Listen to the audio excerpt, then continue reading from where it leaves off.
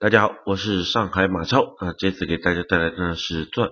呃电信一区艾欧尼亚钻一的排位赛啊，给大家做的是两个英雄，一个是卡萨丁，还有一个是呃德玛西亚皇子。好吧，我这边的话先给大家介绍一下两个英雄的符文以及天赋。呃，符文方面，卡萨丁这边我带的是一个传统的 AP，然后红色这边的话我带的是九个法穿，然后。黄色方面我带的全护甲，然后蓝色是全魔抗，啊，毕竟卡萨丁是一个在线上比较短手的英雄，呃，容易被对面用用普攻消耗，所以说这边的话带上双抗可以增加卡萨丁线上的一个消耗，消耗能消耗的话会减少一些，然后精华方面的话会带一个我带一个三个法术强度，啊，这个是一个最简单的最基础的一个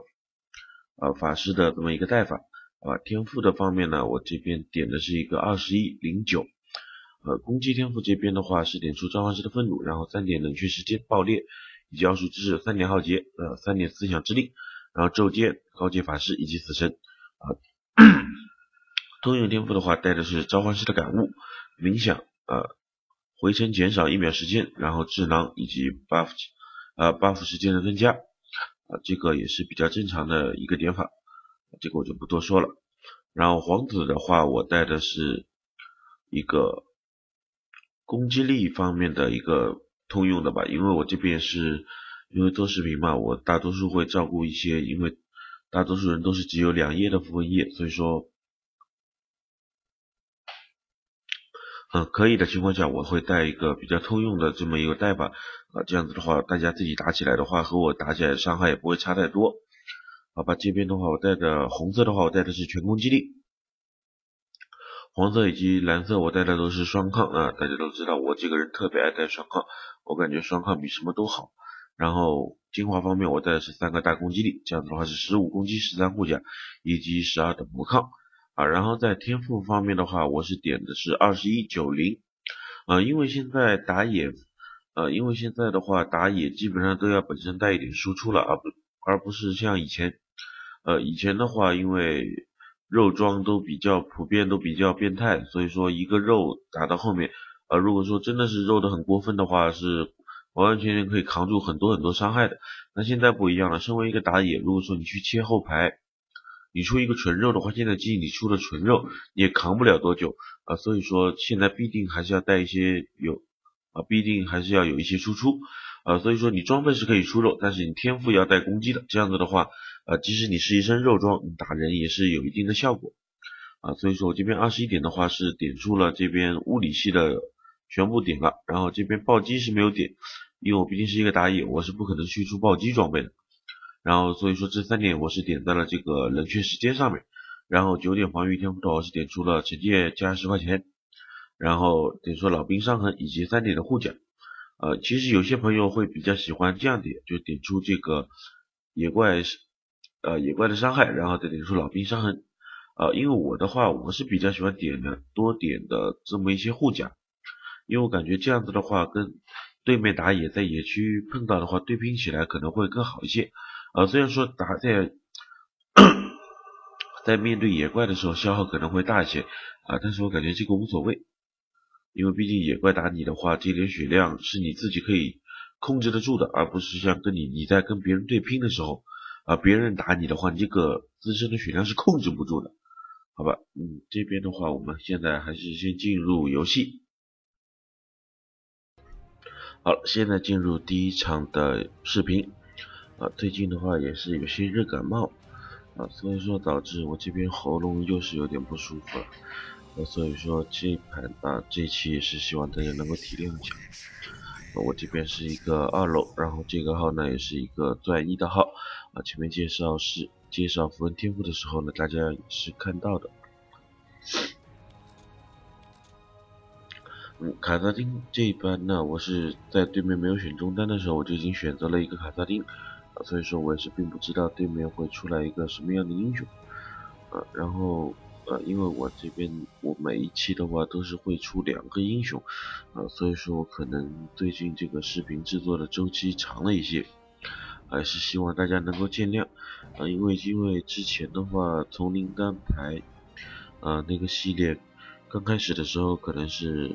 大家会觉得更新非常快，呃，因为两天一期，呃，然后三天就有一期，然后每期是也是两部的，可能会大家觉得更新速度非常快，啊，其实有，呃，最主要是因为那个时候呢分段比较靠后吧，啊，可能是一些呃白银啊黄金组的。排位啊，所以说这个素材打起来就比较容易，因为以我现在呃以我这个水平的那么一个理解，然后跟那帮啊跟那个分段人打的话，呃基本上很多我想要表达出来的东西，呃在一盘的视频里基本上都能够表达得出来，呃所以说这个素材打起来很容易，所以说这个出视频的速度自然就快了。啊，然后像现在的话，这个分段越打越高，越打越高，越打越高。呃，很多的时候我赢了，而且有时候赢得很漂亮，啊，赢得很快，赢得很轻松，也是一场屠杀。啊，但是那些素材呢，我都是没有办法拿来做，呃，因为 怎么说呢，这个这些屠杀的素材，它表它完全没有办法体现出啊我所表达的这个意思，就是我所要。体表现出来的一些小技、小技巧啊、细节啊之类的这些东西，他都没有办法表现出来，所以说，我做出来就给大家看到所能学习到的东西都非常的有限，呃，这种视频做出来的话就是一点意义都没有了，呃，所以说也导致我现在这个视频的周期会越来越慢，这这也是没有办法的事情，啊，因为毕竟分段越来越高，然后在每一盘的。在我自己平时打的时候，所以啊每一盘就是能够很好的表达出在这个分段该怎么样来面对这个分段的对手。呃，如果说是一个呃，从把我的视频从第一期就开始看，一直看到呃现在的话，丛林蛋白是做到三十期了。呃，从第一期开始看，一直看到三十期的话，啊大家就可以看很清楚的能够感受到，呃从青铜一路走走走走到黄金组。啊，直到现在走到白金啊，马上现白金，白金二了嘛，快钻石了。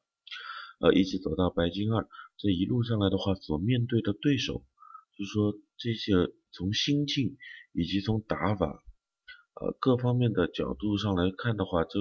会有很大很大的改变。啊，这也是我是做这个丛林单排这个系列，呃的一个初衷吧。就希望大家的就打法越来越成熟，然后想法也越来越有多变化和多变性，就不再是拘泥于最早的一种想法吧。但是一个总体的思路我是一直都没有变，啊，就那就是就是干，对吧？因为我一直提倡的就是，呃，在和对手的搏杀中间来提升自己的一个经验，然后改来来改变自己的一个打法，来更加清理。对英雄的理解以及各方面都有更加清晰的这么一个啊这么一个理解吧，所以说现在周期变长了，我也是没有什么太好太好的办法。呃，如果说大家想看呃两天到三天一部的话，那么我也是可以做，但是那样子的话，每一期视频啊可能就只有一部了，因为我做这个视频我也是啊想给大家。一种态度就是要么不看啊，要么就看爽，要么就看个够啊。所以说最近我这个优酷空间里面是被大家给喷爆了啊，就是超哥你怎么还不更新啊？你又没更新啊？所以说我也没有办法，大家也不要怪我，大家不要喷我，毕竟啊，毕竟人的精力也是有限的，而且我现在也不像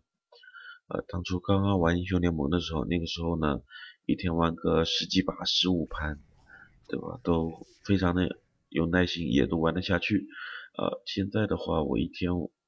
呃，让我连着打打个三四盘，我就有点吃不消了。这个跟年龄大了也是有一定的关系。啊，这再次说一下，这个感冒的话，这个问题还是比较严重。啊，所以说这个在声音方面的话，可能还是有些问题。呃，这一盘的话，我中路面对的是一个莫甘娜，啊，这个英雄我也是很久没有见过了，我也不知道为什么他会选出来一个莫甘娜，这个莫甘娜给我的感觉还是有些蛋疼的，嗯，因为这个英雄的话，现在啊，虽然说他有一个很好的控制，这个控制能够定人两秒钟，然后本身也是有一个很好的一个团控，啊，从控制方面，然后而且还有一个魔法盾吧，就从控制还有支援方面的话，各方面其实都是一个蛮不错的英雄，啊，但是现在呢，就是因为首先它的爆发不是很足，啊，然后其次对沙漏的中原沙漏这个装备的需求量实在，啊，实在太大，然后再且所以说，而且技能的不稳定性。啊，导致这个英雄渐渐的退出了一个舞台，而且最主要的一点，啊，就是他在线上的这么一个，他在线上能压制能力、对线能力太弱，啊，这个就是莫甘娜现在很大的一个问题，啊，所以说又是因为面对莫甘娜，呃，所以说我这盘带了一个多兰戒出门，啊，这样子的话，首先我的血量会更高，然后其次的话，在线上输出也会更高一些，啊，在跟莫甘娜的耗血。过程中，我也是会能能够拿到很大的一定优势。呃，什么样的卡萨丁在中单面对什么样的英雄可以带多兰戒呢？我这边是给大家举两个例子啊，第一个是莫甘娜，然后第二个的话就是像死哥。呃，为什么？因为卡萨丁这个英雄，呃，在线上因为他是一个近战嘛，所以说他经常会被对手用一个普通攻击来进行一个消耗。呃，我首先。那个卡死哥的话是几几乎不用普攻的一个英雄，然后莫甘娜虽然说用普攻，但是他有一个很大的缺陷，那就是手太短，啊，这个攻击距离实在太近了，啊，所以说导致他能够消用普通攻击来消耗到我的这么一个机会并不是很大，啊，我才敢带一个多兰戒出门，因为这样，呃，因为在多兰的话我是只能能够带两瓶的红，带两瓶红的话。啊，但现在很有可能会导致一个蓝不够用，啊，那个呃带两瓶会经常会导致一个血不够用的这么一个情况，啊，所以说就面对这两个英雄的时候，大家是可以带一个多兰戒出门的。如果说面对别的英雄的话，我是一点都不推荐大家带多兰戒，啊，最好还是带一个一百八的回蓝小斗篷，啊，然后四啊五红一蓝。然后一个眼啊，或者说的话，呃，那个蓝都不用带，因为卡萨丁在线上的话，他并并不缺蓝，啊，他每一下普攻都会回蓝，呃，除非面对一些就压天生压制力非常强悍的英雄，啊，例如说安妮，啊，例如说发条魔灵这种，啊，那样子的话，你就可能会要带会要带蓝了，因为你能够上去 A 兵的机会实在是太太过少。这盘的话，卡萨丁在线上，啊，前期的话不要多想，也不要想着去杀对手。呃，就是大做好自己，好好的补刀。卡萨丁在线上还有一个小技巧，就是呃，在塔底下补刀的时候，你开呃，在打近战兵的时候是没有必要开 W 的，啊，他在打远程兵的时候是把 W 开起来，这样子的话，他啊普攻一下，啊，你就可以普攻一下的话，你开着 W 一下就能把那个远程兵打死了，啊，这个是一个非常。呃，非常好的一个塔下补刀的一个技能，而且他卡特丁的话，在线上我是这样子的，呃，我是选择了一个主 Q 负 E，啊，当然了，你也可以主 E 负 Q，呃，主一副 Q 的话，一般会面对哪些英雄？呃，一般的话会面对呃，例如说像呃拉克斯，然后那个会玩玩的比较好的那种死哥。啊，这样子的话，我是推荐大家学一个主 Q 负 E，啊，因为首先拉克斯以及死哥的这个手，啊，技能释放释放的一个距离实在太长了，啊，所以说你能够用 Q 来耗消耗到他血量的这个机会啊比较少，呃，而且他们推线的速度都非常的快，呃，卡特琳大家都知道这个英雄推线速度很慢，呃，刀都呃小兵都是靠呃普攻一个个砍掉的。呃，碰到这种推线特别快的英雄呢，他一会儿就把兵线推到你塔里面去了，啊，所以说如果说你是，如果说你不选择的主意的话，那你这辈子几乎就在跟塔补刀了，而且呃，这个中路的一塔也是会非常快的被对面把血线给磨掉，这就是一个啊，这就非常不好了。所以说凯撒丁这个英雄的这个技能的话还是比较多变性的。呃，关键是要看大家具体上面对什么英雄，啊，就用就学什么技能，啊，这个灵活多变性我就不多说了，啊，因为这些东西都是靠大家自己个人的理解的。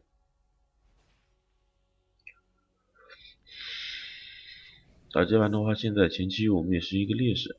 啊，现在比分是一个一比四，啊，对手的话把我们这边压的也是，我们这边的话前期是有一个劣势的，啊，现在我是到达六级，所以说我是选择了回去一波，啊，到达六级之后回去一次补一波装备，啊，出来之后可以好好的来压这个莫甘娜了。而且大家千万不要贪什么，到了像到前我前面一点时间，啊，也是因为我这边药不多了，啊，血系药也没有了，然后也是没有血了再回去的，啊，大家如果说就算你有药，我也是推荐大家这个时候应该要回去了，呃，首先蓝 buff 要抓了，啊，如果说你是一个没有状态的情况下的话，对面是敢定定心心大大方方的来偷你的蓝的，啊，这样子的话给你的压力就会非常大。呃，但是你补过一波装备回去之后呢，这个蓝就会打得比较轻松，比较没有什么太大压力啊。这边的话，这个莫甘娜又不见了，我是给队友发过两个信号，结果这个莫甘娜确实是去了下路，啊，直接又传送下去了。所以说的，我们这边的话，这啊下路这个宝石和瞎子也是死在了下路，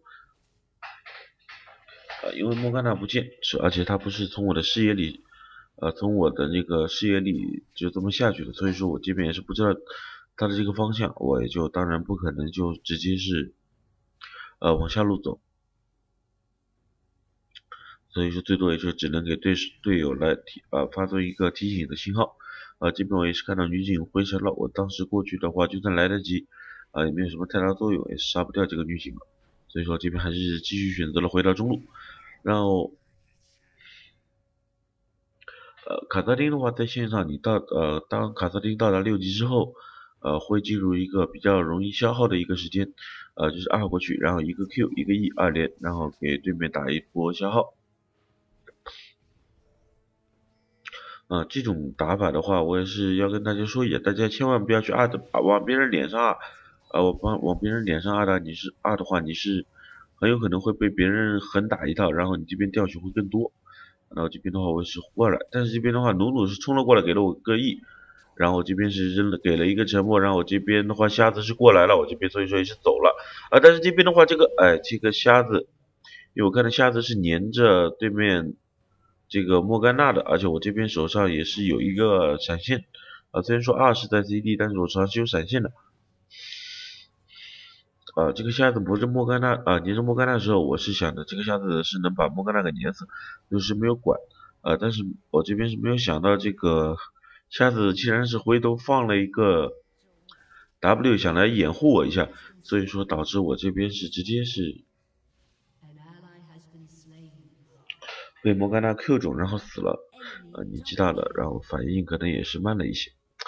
呃，这次死的是有点蛋疼，因为这个算是一个突发情况。为什么觉一点都没有想到这个瞎子会回来 W 到我身上保护我？啊，所以说也是中了这么哈莫甘娜这个 Q。啊，不过这个无所谓啊，好，因为我们这边攀登过来是把莫甘娜杀掉了。啊，这边的话，这个莫甘娜是一非常怕我来骚扰他，因为骚扰他的话，对于他的血线来说也是消耗蛮大的。啊，像莫甘娜这种英雄，我就是胆子很大，我敢直接朝他脸上啊啊，因为我知道这个英雄他没有办法对付我，他没有什么太好的杀招。呃，而且因为我是一个主 Q 的嘛，最主要也是因为我是主 Q 的，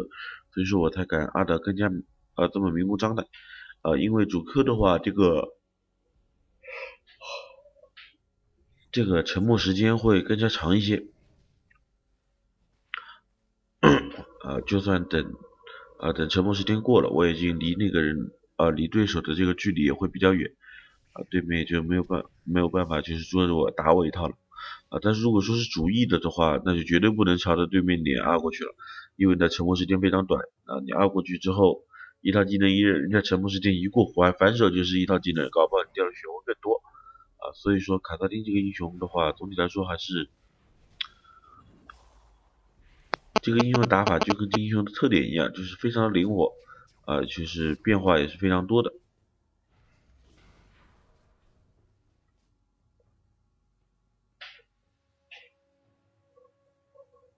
嗯，这边的话我也是在线上是不停的呃消耗这个莫甘娜。也是避免他在前期的话，这个没有什么太大的压力。啊，前十分钟基本上我卡特丁都是会选择一个补刀，啊，因为这样子的话会能够很好的提升一个卡萨丁的这么一个。哎，这边莫甘娜走上去我是个大什么味道？这个大招我是有点没有看懂，呃，估计是他也可能看我日子太好过了，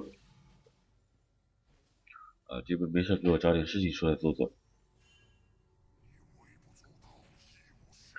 啊，因为卡萨丁这个英雄的话，啊，在线上补刀。啊，应该是不是呃很容易的一件事情啊？首先没有什么亲密的技能，然后其次的话，在线上基本上是一个劣势。呃，像现在前期的话，能有机会多补刀，我会选择多补刀。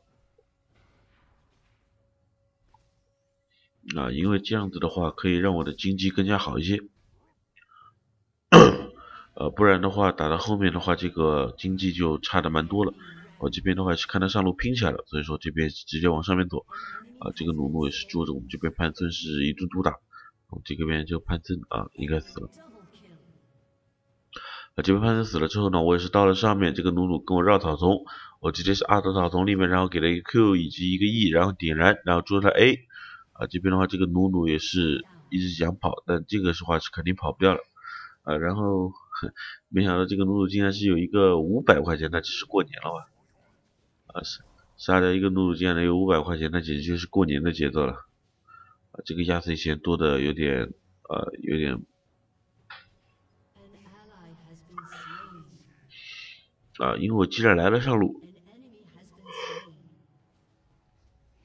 啊，因为我既然来了上路的话，我这边肯定是要帮帮队友把这个线推到塔里面去啊，不然的话出来王子空心的话不太好打。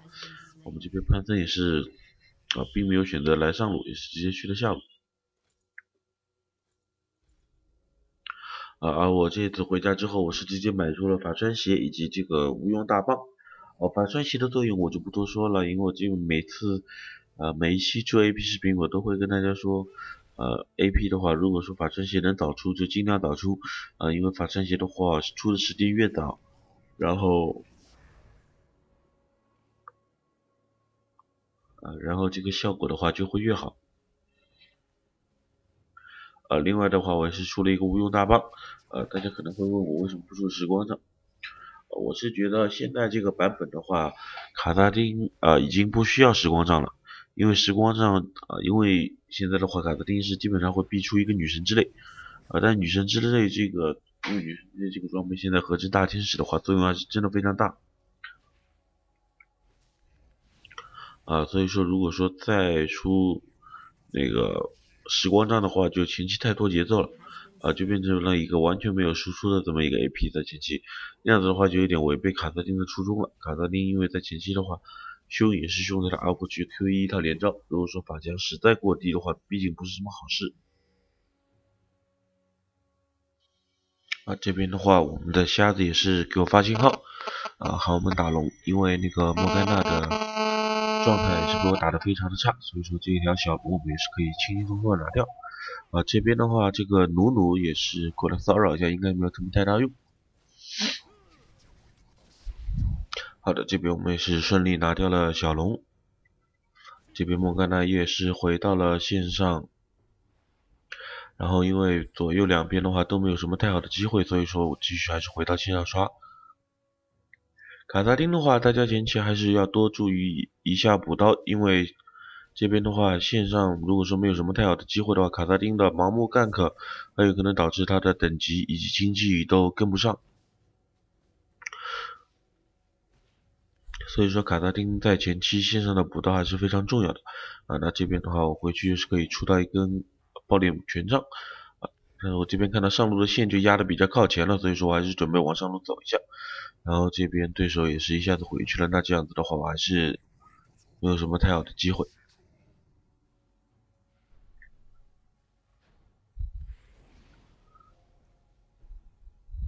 线上有线上有机会的话，尤其像面对像莫甘娜这种啊，实在是没有什么杀招的 AP，还是比较好打的。啊，这边的话下路是直接准备冲塔强杀，这一波我是啊，这个机器人是有点。呃，有点想太多了。但是我这边的话能追，我肯定还是要追一下啊。这边的话，啊，这个维恩也是看到我来了，所以说他也是直接不追了，是把这个人头让给我。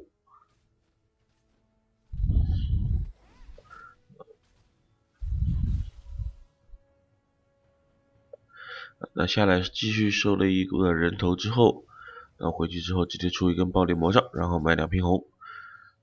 呃，因为卡萨丁现在这个版本出时光杖的话太拖节奏，所以说我这边也是因为我看了一下前期啊对手的话也是没有什么可以玩直接威胁到我的英雄，呃，所以说我这边是没有选择出，我这边的话也是没有选择出那个中央沙漏，而是直接选择了出一个帽子。哎，这边的话，机器人还要过来做视野，那这样子的话，我这边是肯定要直接先去杀这个机器人，啊过去 Q E 一个点燃，然后开，然后我这边开启 W 追着他砍，然后一个 R R 过去就一刀，然后这边机器人还要跑，那肯定是死了，一个 Q 带走机器人。啊，这边卡萨丁就是这点好，就是说在单体追杀的时候几乎是一个无敌的姿态。啊，这边杀掉机器人之后，我的钱是够我回去出一个帽子了。卡萨丁的法强起来之，卡萨丁这边的话，如果说能够，啊，卡萨丁这边起来的话，如果说能够先出到一个帽子的话，还有很大的一个好处，啊，就是在线上，呃，刷兵的这个速度会快非常非常多。这边莫甘娜是选择下路，但这边的话上路选择一个冲塔，所以说我这边是直接马不停蹄的往上路在赶，啊，边二二过去，然后这边的话是。抄近路，啊，但这边的话，我们这个瞎子啊还好，瞎我这边是直接赶到了，那这边瞎子肯定是死不掉了。我这边 R 过去，然后 A 一下，A。那这边的话，这个努努啊，这个努努想回头扔我一个 E，但这边的话他是必死无疑。那这样子的，我上去之后又是拿了一波双杀。呃，同样的话，身为 AP，这卡萨丁的作用就要比莫甘娜要大的非常多。哦，这当然是不知道，呃，我真的不懂这个家伙为什么要选莫甘娜。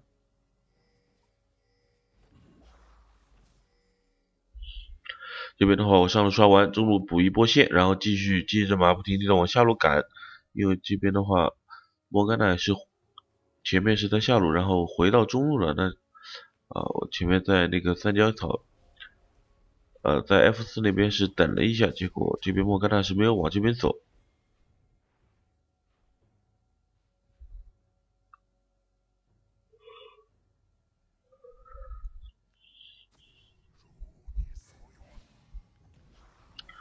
呃，这边的话，瞎子是让我自己打下蓝啊。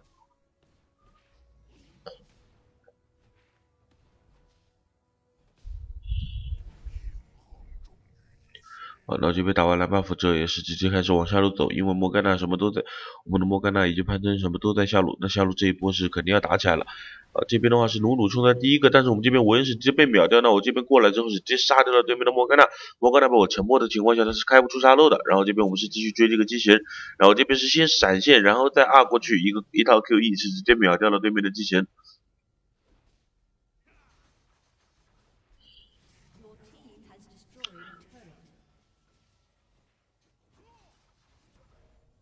那这边的话。呃，下路一波成功的 gank，然后是拿掉了两个人头以及一个外塔，这样子呢，我们前期的劣势就直接全全部搬回来了。而且我现在回去之后，我是直接出到了大天使，而且出完大天使之后，我的法强已经是接近四百，在二十分钟不到的情况下，啊，接近四百 AP 的这么一个卡萨丁是非常非常恐怖的。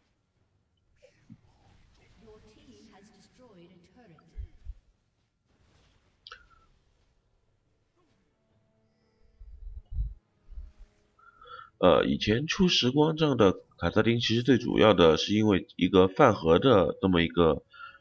作用，就是退化成石嘛，就是每升一级的话，它会回血回蓝，啊，这样子的话可以提升卡萨丁在，啊，提升卡萨丁在线上的一个混线能力，啊，但现在的话，因为，呃，随着版本的节奏加快，所以说现在的话玩这个游戏出装就不能再像以前一样了。呃，做一些必要的调整还是要还是必须的啊。这边的话，我们这个宝石也是真的是，啊，真的是凶猛啊。这边的话是直接打起来了，然后我这边现在边上猫着，啊，等自己队友一套技能扔完之后，我再上去扔。啊，然后这边的话，机器人是偏绕后了。然后他们想杀我，我是不可能杀掉的。然后看到没有人打我之后，然后我再二上去，这边莫甘娜开出直接开启了沙漏。那这样子的话，莫甘娜是必死无疑。然后这边是按上去一个 Q 是直接杀掉了对面的鳄鱼，然后一个 E 是留下了对面的女警。然后这一波是直接打了对面一个 Ace，然后我们这边是可以直接定定心心的拿小龙。呃，卡萨丁的话打团我是，呃，打萨丁打团的话，第一个啊千万要慎重，就是说不要。呃，很盲目的按上去，因为很盲目的按上去了，对面的技能都没有扔掉的情况下，啊，是直接很有可能是直接把你秒杀掉的。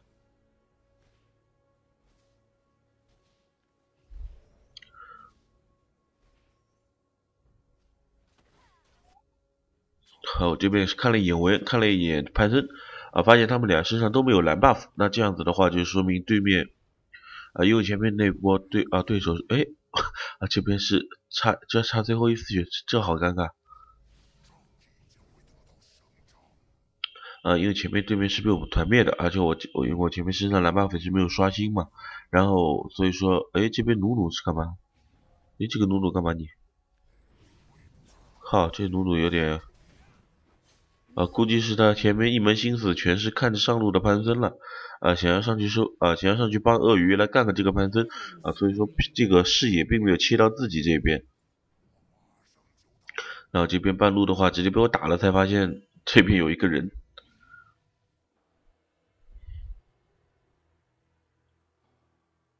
呃，因为前面是团灭对手，然后，呃，剩下我们唯一活着的三个人身上都是没有蓝 buff，所以说我这边的话。呃，也是感觉到，呃，也是知道前面对面身上是没啊都没有打蓝的，呃，我所以我这边前面是很定心的，就是跑过去把对面蓝偷了，啊，这种，啊，然后上面的话鳄鱼是死了，然后下路这边莫甘娜也是死了，然后这个机器人肯定也是必死无疑。那经过两波团的一打的话，基本上是半，啊，现在已经是露露开花，对对面已经是没有完全没有一战之力了。呃，这一盘的话，我们前期是劣势，但是劣势的话再大也不能急，因为急了的话就一点用都没有。卡萨丁在前期这个法术强度并没有，啊法强并不高的情况下，如果说盲目去 gank 的话，很有可能会适得其反。啊，不如就在线上好好的刷，好好的刷钱，然后把等级晋升尽量的提高。啊，卡萨丁这个英雄的话，等级也是非常重要的，是。结果直接 Q 啊，这边女警还是跑掉了。啊，前期尽量提升等级，然后等级起来之后的话，对手也不是很好。啊，等级起来之后，然后拥有一定的装备再出来 gank。啊，只要对手的话没有选择那种什么破塔之类的，就不要前期就尽量不要动。啊，如果说对手是直接选择了要拆我你们下塔，那出现这种情况的话，那肯定是要去帮忙的。因为卡萨丁什么都不怕，就怕对面集合太早。对手一旦集合过早的话，卡斯汀就基本上属于一个半残疾的人物了。这边的话，卡斯汀装备起来之后，这个爆发是真的是高的有点离谱。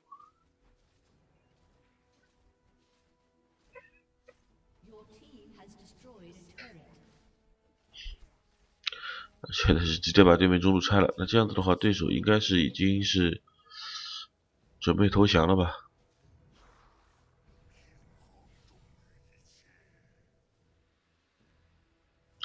而现在这一波回去了，我也是直接有了中亚沙漏，那这样子的话，呃，对手是更没有什么打头了。呃，其实，在顺风的呃非常顺的情况下，我这边也是比较呃推荐大家可以的话，也是可以去出一个呃出一个明火，因为卡萨丁出完明火之后，大家可以感受一下这个伤害，简直是。呃，令人高的令人发指，像对面的一种 ADC 的话，二过去明火 QE 瞬秒，啊，这边的话对手也是直接打，呃，直接是投票了，呃，那这一盘就非常轻松的就拿下了，虽然说前期是一个劣势，好吧，我们先进入一段广告，然后再接下来进入第二局游戏。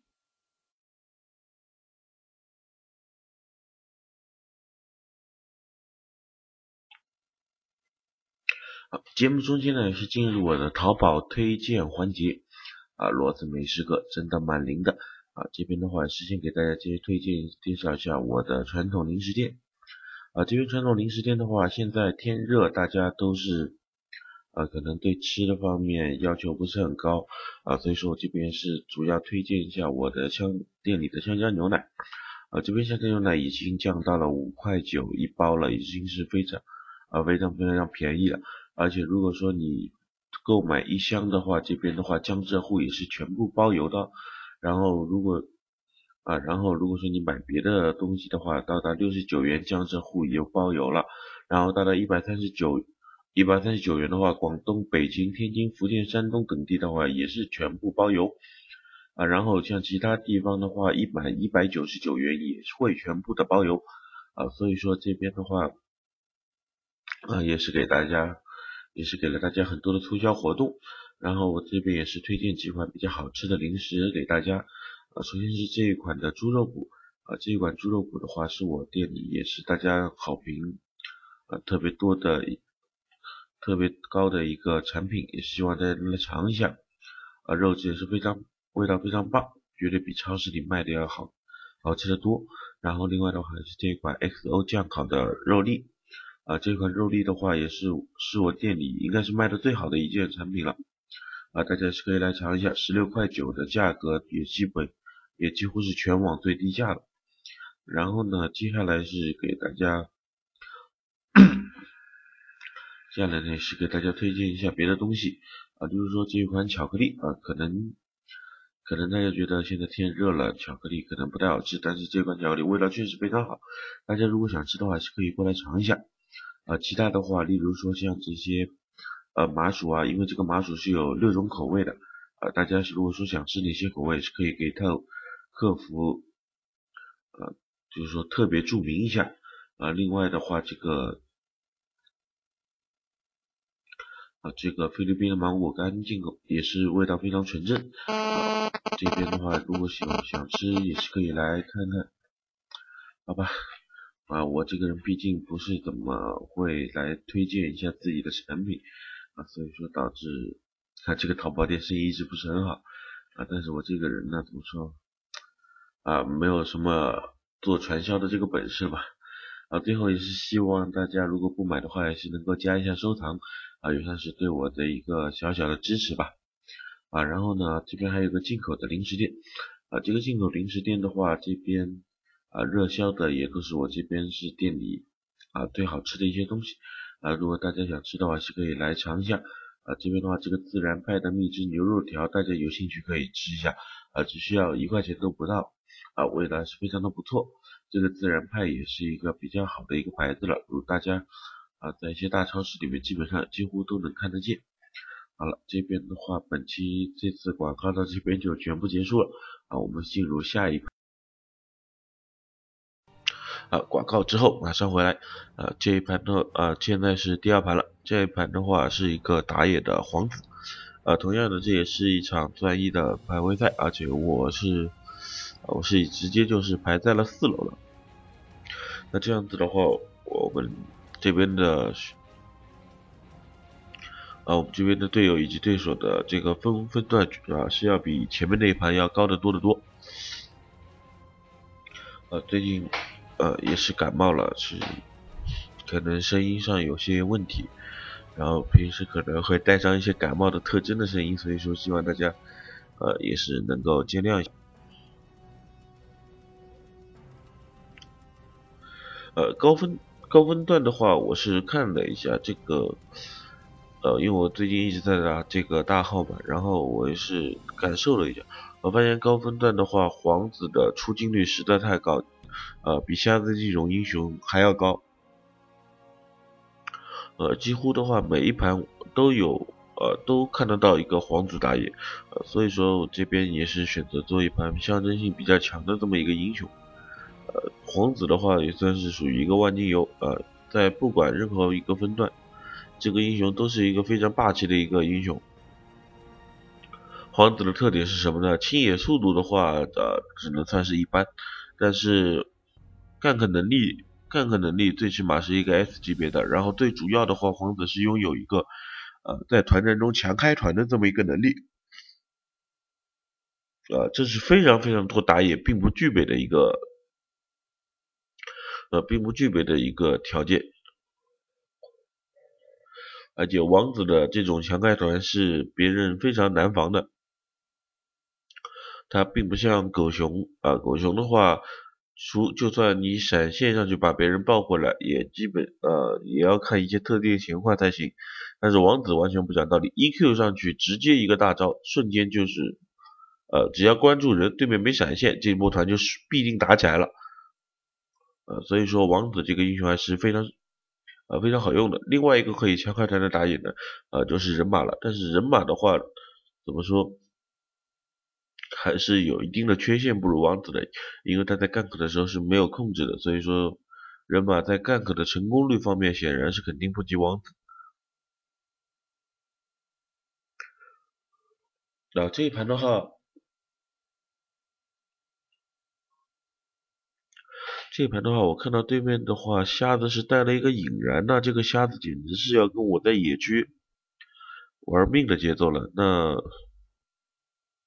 呃，如果说大家是因为皇子本身在野区碰到瞎子的话，如果说大家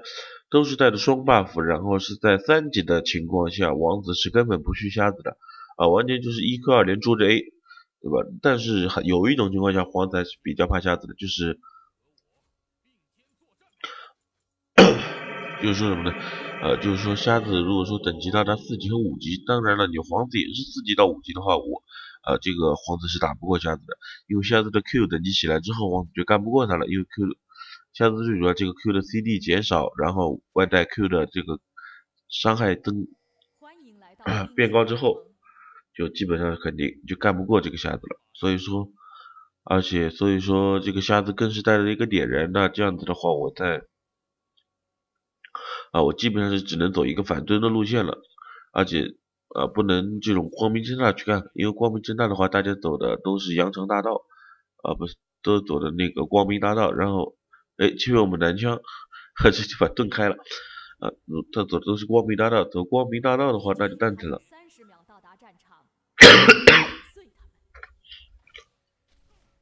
呃，这边，这边这下子好溜啊，直接 Q 到了我们这边的。呃，发条，不然的话，他直接会被我们机器人勾过去。呃，勾过去了，这个瞎子是必死无疑的，因为他是没有带那个，没有带闪现。呃，因为是带引燃的瞎子，所以说这一盘的话，前期的压力还是比较大的。啊，当然了，打到中后期，啊，中后期的话，可能的带闪，因为瞎子不带闪现嘛，可能作用会小很多。但是，呃，在前期来说的话，这个瞎子是非常非常变态的。而且一般带闪现的，呃，一般带引燃的瞎子都是以反野为主的，所以说我这边打的肯定是要小心谨慎一些。好，在我们这边的话，我们这个机器还是比较懂，因为他直接是给我们我带，呃，蓝 buff 那边是给我放了一个眼，呃，这个眼放的非常的漂亮，因为不不然的话，呃，对面的这个瞎子很有可能，呃，对面的这个瞎子的话很有可能会来抓我的蓝。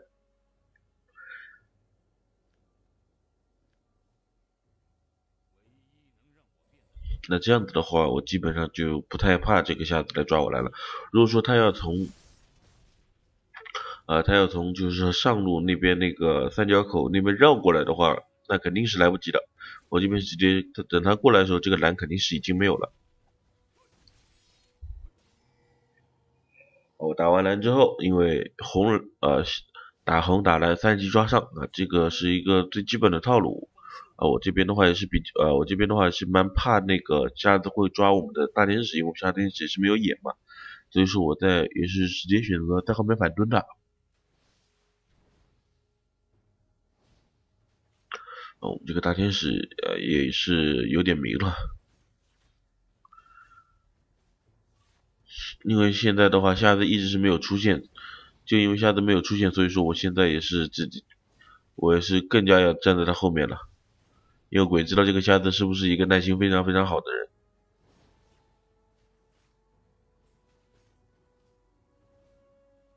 啊，这一波也是蹲的比较久。哎，这边的话是兵线刷过去了，那这样子的话，我是可以这边啊贴着这个边是走到这个草里，这样子的话，我走到这个草里的话，啊这个对面是看不到我的视野的，所以说这边的话，这个人啊这个我们这边大天使还是死了。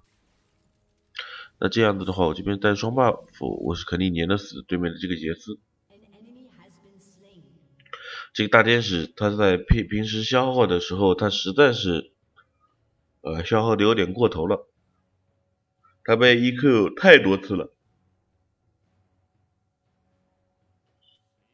呃，然后对面的瞎子这一波是直接跑到了下路，那这样子的话杀掉我们对面，呃，杀掉我们的男枪，我们的机器人的血量，呃，有点尴尬，可能也要死。这边呢，我们机器人是死了。呃，也告也告诉大家一个小技巧，就是说有些时候的话，你是不需要把镜头拉过去的。就是说，你看啊，左边的话就是有一个不是有人物的头像嘛？人物头像下面的血和蓝是有可以看到状态的。所以说，很多时候你看这边看一眼就能知道自己的队友现在是一个什么样的情况，而不需要把镜头拉下去。很多时候你把镜头拉下去的话，自己。这边比如说有些人回城了，回城就喜欢，呃去看，呃别人走别的路怎么样了啊？这个人怎么样死了没有？等等等等啊！这边的话辛德拉，哎呦这边是就碰到了瞎子，那这样的话我肯定是要先走一步了。这个太凶太凶太凶！呃不过好在我这边这个眼是直接放下来了，那这个瞎子他继续还要在这边浪。那这样子的话，我在这边准备冒一下这个瞎子，然后机器人也是，哎，机器人，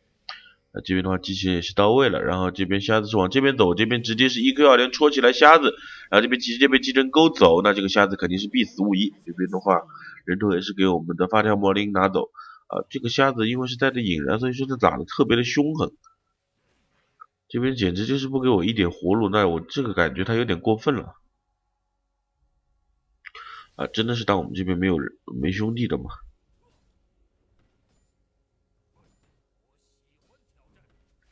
啊，所以说，因为瞎子是不带闪现，也有一个好处，就是说，很多时候我就能，呃，非常轻松的把握住该打还是该逃，而而且瞎子因为不用计算瞎子到底有没有闪现，啊，有闪现该怎么打，没闪现该怎么打。哎，这边的话，机器人他是干嘛？这个机器人上的有点不不不理智啊。我们这边的话，发条魔灵是没有没有蓝的。机器人还好，自己也是用掉了一个虚弱，那这样子的话，发条魔力给他上个盾，应该是死不掉了，还好还好。啊，这个机器人爸爸太凶残了。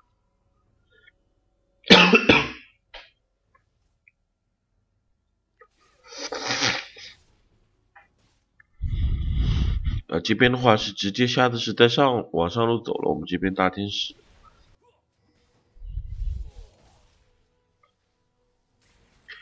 啊，不过这这一波的话，想杀这个大天使应该也不容易，因为大天使的话，呃，是有一个大招的，所以说我这边是并不担心他的这个生命财产的安全。呃，继续刷完之后，然后接着是围着中路在转。呃，打野的话最好还是围着中路转，因为中路的话毕竟是个承上启下的这么一个位置啊，前期哪条路都能崩，唯独中路不能崩。中路崩的话，那就真的出事了。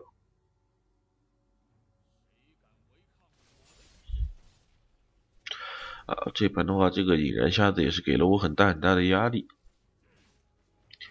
所以说我这边的话是被打的，基本上是尽量是在呃刷野为主，而且是想要早点到达一个六级，呃，到达六级的话，我就算是一个，呃，基本上就算翻身了。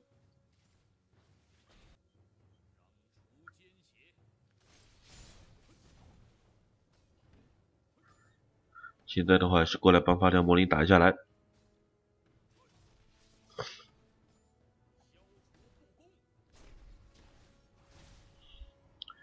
这边的话蓝 buff 打完，然后收一波三狼，回去之后是六级，六级之后满状态出来的话，就是呃打野的话是对于王子来说是最为最为最为强势的一波。这边的话，瞎子又是去下路 gank，哎，这边下路又是，哎，我一直其实我一直没搞懂一个情况啊，就是这个下路为什么会这么好 gank？在我的呃这个价值观里面，我是觉得下路是啊，最难最难被 gank 的一次了，最呃。呃，这边的话，机器人也说了是眼被排了，然后没没注意什么。这样子的话，这边的话对手是有眼的，然后我这边直接过来，在这边这两人质都走了。呃，因为当时的话我是不敢用闪现，呃，因为这两个家伙是同时回城的，我闪现的话打断一个，另外一个他自己打断了。啊，比如说风，我打断了维恩，然后。风女的话这一打断，直直接给我一个大招，直接把我就吹跑了，然后我用一个 Q 就立马就滚远了，我这边大招也是留不下他，呃，所以说这边的话我是没有选择只用闪现，不然的话也是浪费。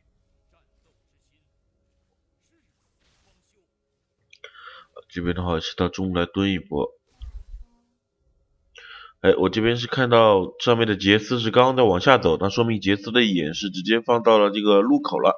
那我直接是，那我这边是选择从对面的 F 四这边绕过去，啊，我这边是看了一眼辛德拉的眼，发现这边的话应该对面 F 四这边应该是没有眼的，啊，所以说我这边是直接往上路走，啊，但是这边的话我还没到这个杰斯，很有可能，就已直接是被大天使给单杀了，这不是，这好醉啊！那这边的话大天使也是没什么状态，我这边也是跟着大天使一起把在上路推一下。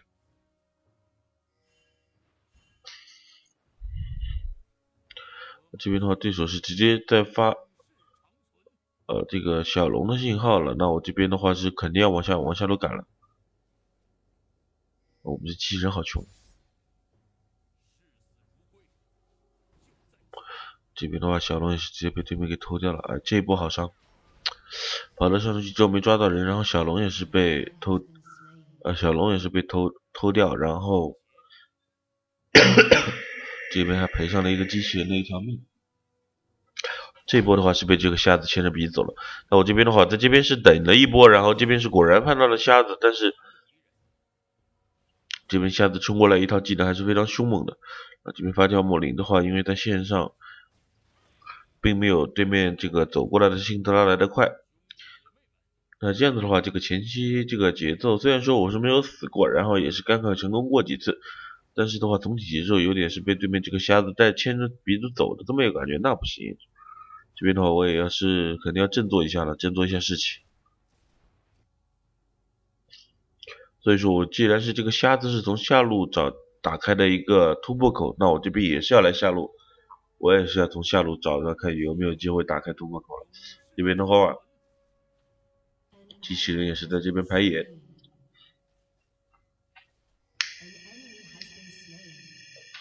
然后南疆在这边的话，哎，南疆这个空间就有点蛋疼。好的，这边继承是直接把对面的风女拉了过来，那我这边的话直接是一 Q 二连戳戳起来，直接是 一个大招之后就不管这个风女了，然后接着上去追一下这个文。啊，那这边的话，哎，这个机器人这个虚弱给的有点没看懂啊，但没关系，这边的话好歹又是杀杀掉了一个风女，这个。而且我现在又突然觉得这个下路还挺好抓的，而且有点有点颠覆我的价值观了。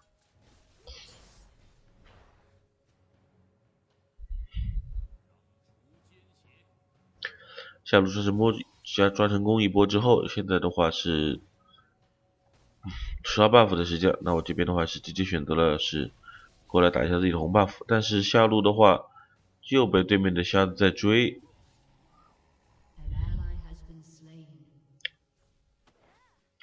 算了，那这然后这边的话，瞎对面瞎子是死掉了，那我这边肯定是要过去了，因为之前他们已经躲进塔了，我感觉对手应该是不会再追了。结果没想到这边的话，对手是呃果断是有些丧心病狂啊，这边是冲塔也要抓他们，那我这边是直接，而且是我看到瞎子死了之后，我是直接选择了去下路，因为之前的话我是没有蓝。呃，在没有蓝的情况下过的，呃，直接去下路是没有什么太大的意义的。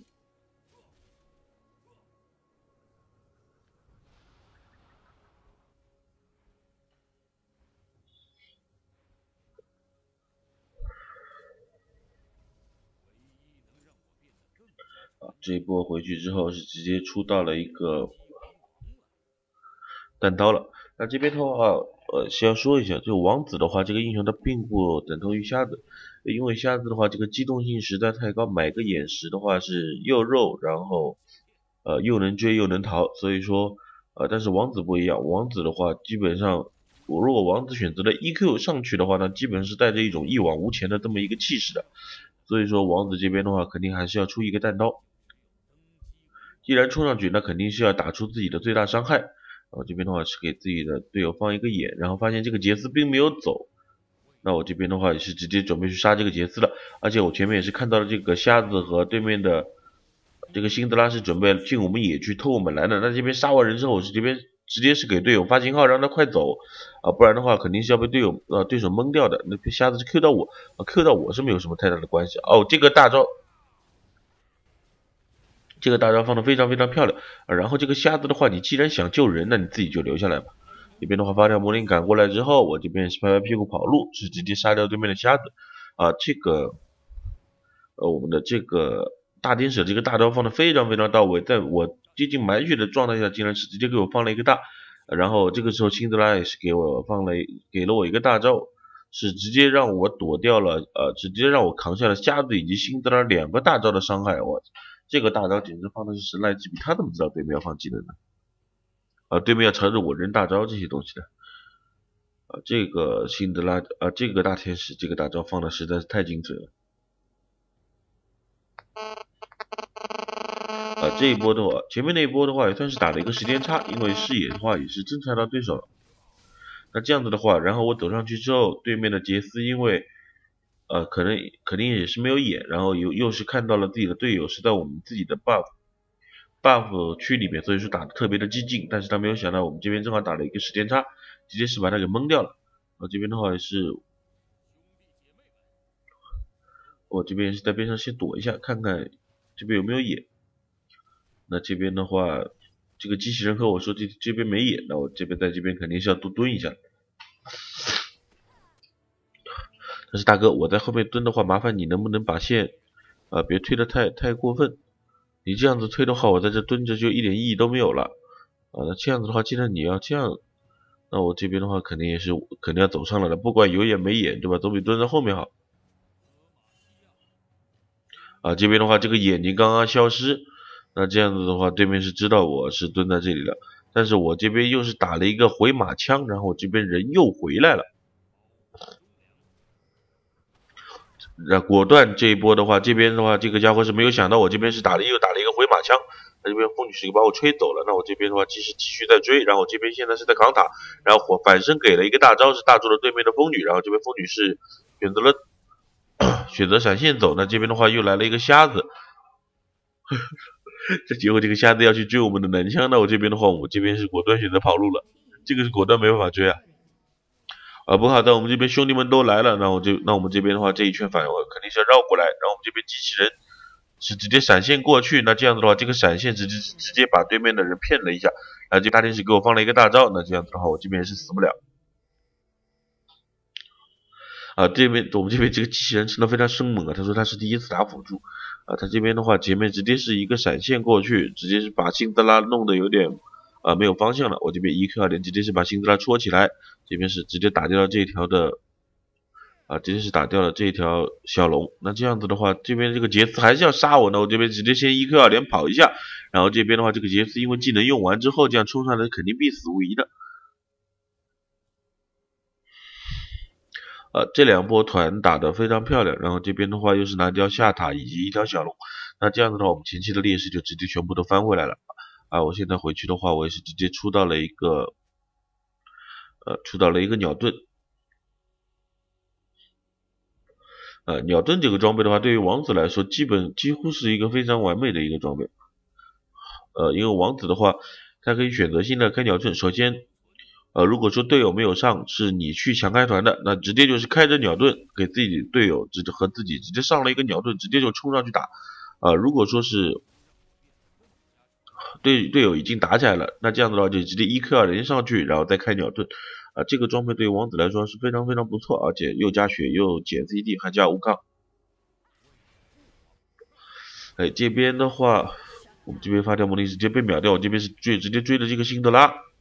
那见到辛德拉还剩最后一丝血，那我这边也是节约一个大招，没有用，直接是一个 Q，直接死掉了啊。那这样子的话，哈哈，这个盲僧是直接被我们机器人一道雷给雷死了。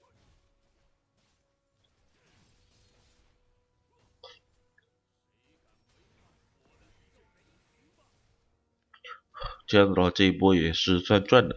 然后这边这个杰斯还是在这边挺浪的。我们机器人从这边过来勾一下是没有勾到。那我这边的话，我是直接是啊先大招，然后再用 E Q 二连跑掉。那我这边的话，哎，我这边是 E E 出去的时候准备 Q 的时候是直接被杰斯打回来了。然后想走回来的时候又被风女一个大招给吹回去。啊，这直接是被他活生生的给打死了。这个。实在是有点蛋疼，我的想法是挺不错的，因为我当时知道，如果说我是 EQ 在大招这个杰斯的话，我是肯定是必死无疑的，跑也跑不掉，所以说我是选择了先大招，然后再用 EQ 二连跑出来，啊，结果没有想到，啊，结果没有想到的话是被这个杰斯直接是一下 E 又 E 回去了，那我的话这边这个男枪，啊，男枪应该死不了，这个风女的 Q 没有中就应该死不了了。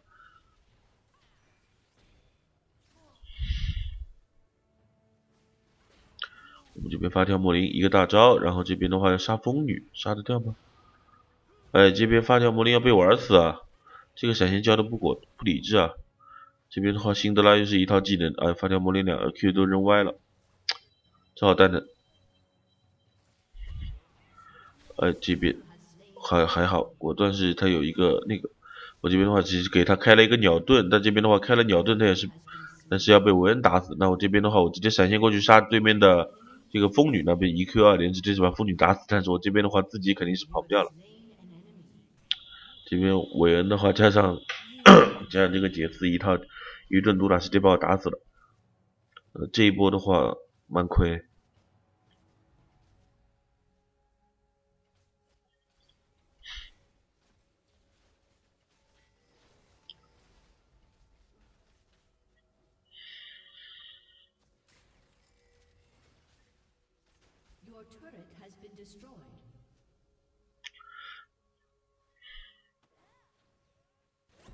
这边的话，我也是在考虑，呃，该出什么鞋子？到底是该出布甲鞋还是出一双水银鞋？呃，出水银鞋的话，就是减少一个控制效果；然后出布甲鞋的话，呃，出布甲鞋的话，那么就是说杰斯打我的伤害会低一点，因为对面的 ADC 是维恩，所以说我这维恩的话是有基本基本上。是靠攻速，然后真实伤害打人的，所以说这边的话，呃，出布甲鞋的效果收益并没有想象中来的高，呃，所以说我这边也是一直在考虑，后来研究想了一下，还是出一双水银鞋吧。哎，这边的话，这个机器人的钩非常漂亮，这边直接勾到了对面的瞎子，那这边的话，我直接 E Q 过去，然后捡到一个速，然后两个人坐站在一起，那我这边是直接想都不想的一个大招，啊，这边的话对手是给了我一套技能，那我这边肯定是要先走一下，让剩下的交给机器人了。我这边放一个眼，啊，对面这个辛德拉也是有点生猛啊，啊，这边的话机器人还追，啊，机器人，啊，真的是有点凶。然后这边的话，我也是直接 E Q 过去，然后一个 W 减速，然后减到之后的话就直接交给队友了，因为很多时候啊，自身是没有必要去跟对面拼命的，呃，那如果说能把人头交给队友，就尽量把队啊人头交给队友，呃，打野的话是没有必要去抢太多人头了。啊，这一盘的话，我的这些人头基本上都是队友已死，然后队友已死，然后我一个人在那还在那单兵作战的时候拿下来的，啊，几乎是没有抢过队友一个人头。啊，这边接着又是破掉对面的中塔，然后，呃，中塔破掉之后，这边状态都不太好的话，就没有什么战略目标了，啊，既然没有什么战略意义，那就在这边再接接着晃，就没有什么太多，啊，就没有什么意义了，所以说这边还是选择先后撤。我跟他们说，我状态太差了，还是先走吧。回家之后的话，我这边是准备出一个蓝盾。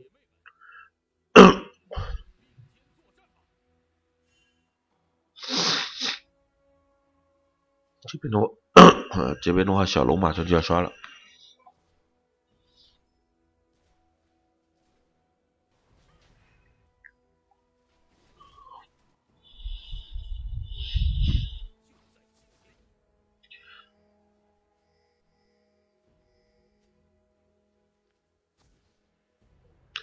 这边的话，队友说下路有一个人，然后叫我们去打大龙，这个打大龙就有点不太合适了。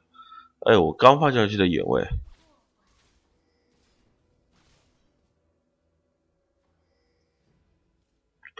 这样子，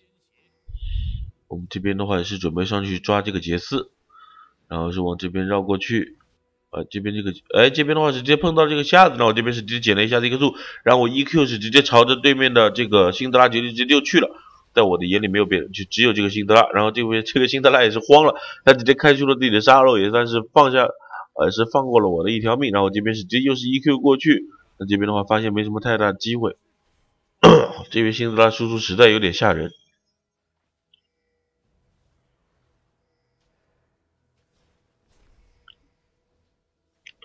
啊，所以说这边的话我们还是继续准备是推一下对。推一下上塔，上塔拿了之后的话，就选择回城了。啊，这一波的话打了一波团，杀了对面一个人，呃，就杀了对面一个辛德拉。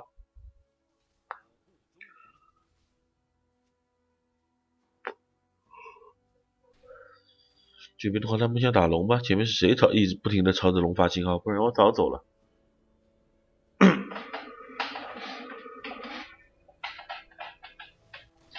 这边的话也是因为状态实在太差了。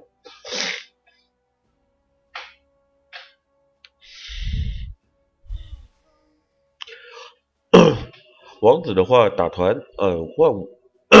换我的想法就是，王子这个英雄你去盯着文是没有用的，因为王源根本不屌你，你一个大招就算把文框起来，文一个 Q 也是能够 Q 出去的。所以说王子的话，这个英雄对于我来说，我打团的话肯定是对着对面的 AP 了。既然 AD 管不住，那就只能管 AP 了嘛。所以说我每一波团的话，基本上都是去黏着对面的 AP。而且辛德拉这个英雄的话，一套爆发，如果说是他的辛德拉这个英雄的一套爆发，如果说是打在了我们的 AD 以及 AP 身上的话，那基本上肯定要死人了。所以说我这边的话，宁愿我自己去扛这个伤害。这边的话，方便棋子啊，结果小发现小龙是直接已经被偷了。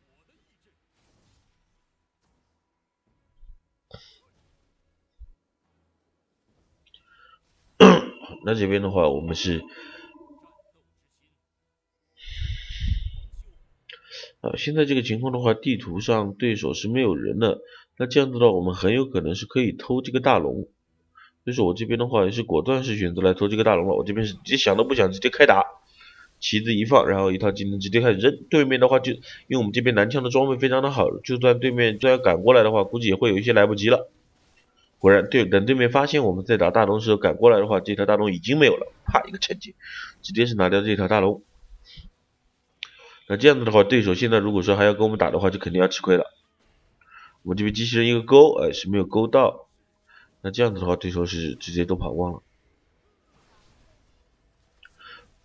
因为现在有大龙 buff 的存在，所以说我们现在是根本不怕对面的 poke 啊。然后现在的话，对面下路的外塔还在，我们这边是喊队友去下路。但这边的话，这个发条魔灵也是有浪的有点过分了，他还是在中路晃。那这边的话，还是走选择接应一下他，万一。发条魔灵被秒了呢，这一波带大龙 buff 的团就蛮难打。这边的我们这个机器人是有点浪过头了，那我这边的话，我直接上去之后，我直接是开了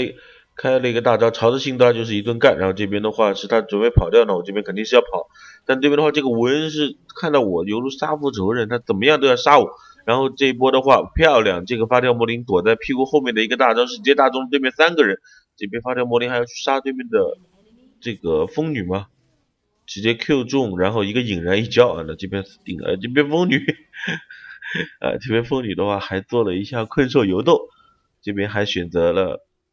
开个大招，看看能不能活下来。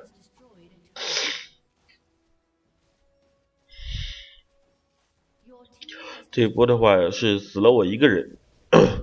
呃，因为我们是带了一波大龙 buff 的，然后再加上。呃，对手的话，第一轮技能也是扔到我们机器人身上，我们这个机器人就开始冲塔了。啊，这个虽然说不明智，但是他直接是骗到对手的第一波技能。那这样子的话，我就果断想都不想的，直接就是 E Q 二连冲塔了。呃，然后对面的话，包括辛德拉的大招，呃，所有技能打在我身上，然后最后也是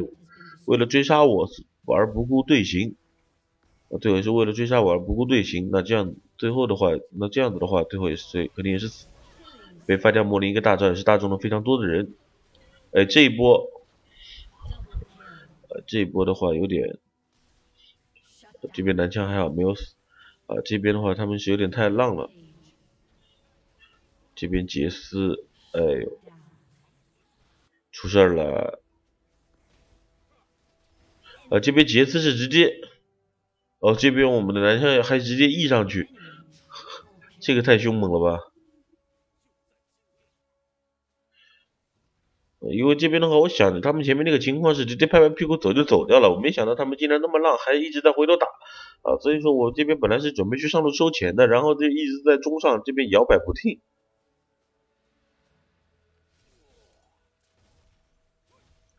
这也是被他们弄得有点有点蛋疼了，上头了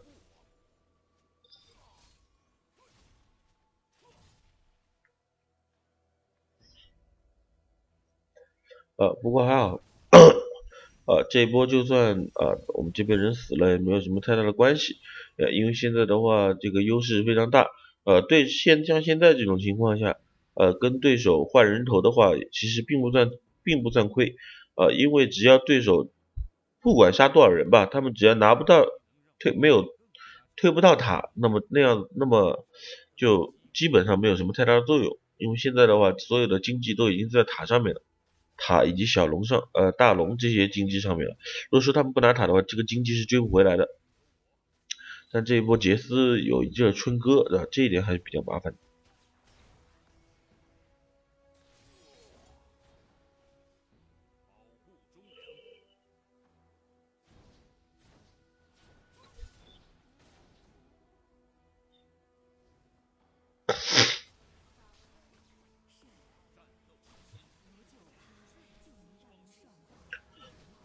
边的话是，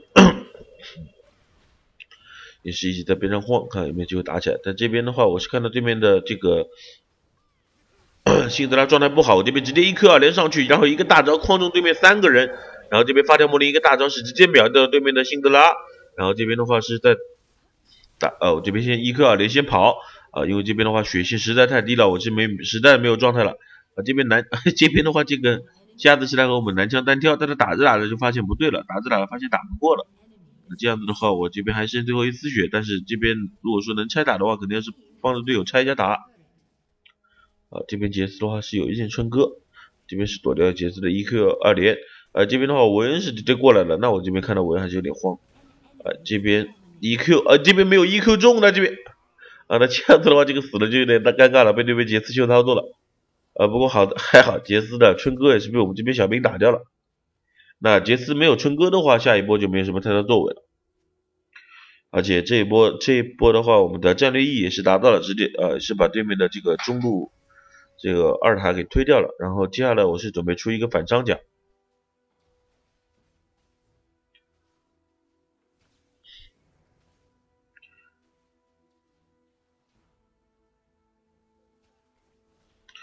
哎，这边的话，这个瞎子，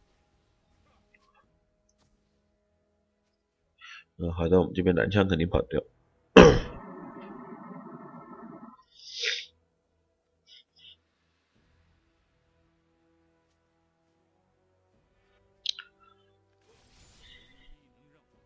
啊，这边的话，大龙还有七十秒，啊，大打大龙机会不大。对手的话，现在是被破两路，那基本上是出不来了。所以说现在，呃，小龙现在的话，基本上所有的呃主动权都是在我们自己的人的手上了。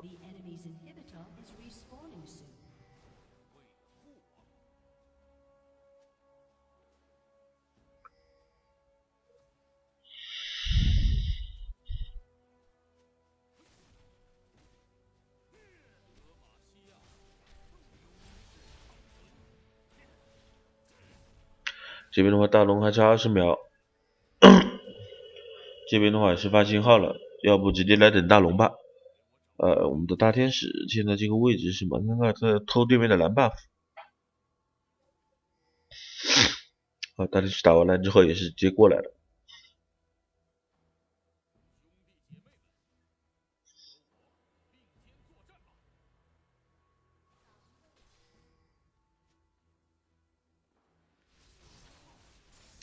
好，这边大龙一刚刚刷，然后我们这边就直接开始打了。啊，这条大龙拿掉之后的话，我们就直接可以下路或者上路强势一波。啊，一般来说的话，其实选择下路会比较好一些。啊，因为下路的话是没有外塔的，但是现在的话，对面这个杰斯的走位，啊，杰斯好像并没有感觉到我们来抓他，所以说也是还是一直在上面。那这样啊，这边的话跑掉了，没有机会。我们这边的话直接开始从准备从中路，然后这边是一个闪现勾，然后直接是勾到对面的盲僧，那这边一个大招又是框中了对面三个人。然后这边的话，这个杰斯也是直接被秒掉，杰斯一下子直接被秒。那这样子的话，我现在是在追对面的辛德拉，这边一 Q 二连啊，但辛德拉是直接交出了第一。啊，这边的话，辛德拉也是啊，也是死定了。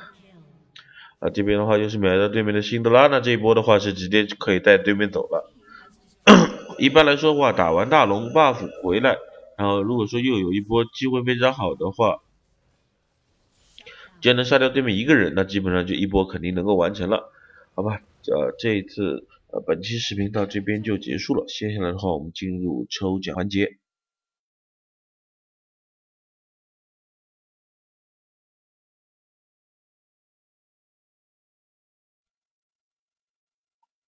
好，节目的最后呢，又到了本本次的抽奖环节了，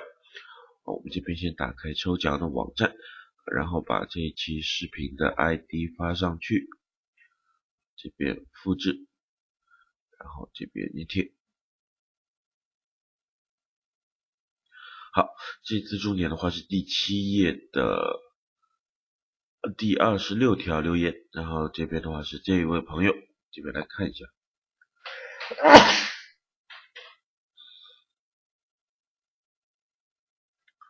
第七页的第二十六条，嗯，果然是这位朋友啊。然后这边的话，我也是复制一下他的邮箱，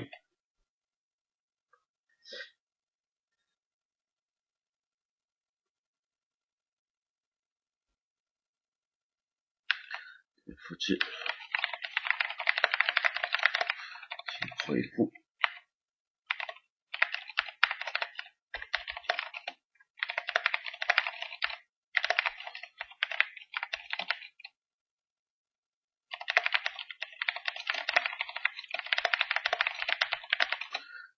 嗯，本期的奖品呢依旧是五盒的香蕉牛奶。